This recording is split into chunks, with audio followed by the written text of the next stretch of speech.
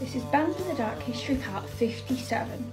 Him were a Finnish gothic rock band that formed in Helsinki in 1991. The band broke up in 1993 before reforming in 1995 and in 1997 they released their debut album, Greatest Love Songs Volume 666 theme of darkness and love was prominent throughout their career, like their logo, which is a heartagram, which was used to represent both the softer side and the heavier side of the band. The dark imagery and lyrics has caused fans, religious groups, and musicians to question whether the band are a satanic band, but have always denied any involvement in devil worship. The band had achieved European success, but after their 2005 Dark Light album, they were beginning to get known in America. Despite their success growing, lead singer Ville Valo was struggling with addiction problems, leading him to check into rehab.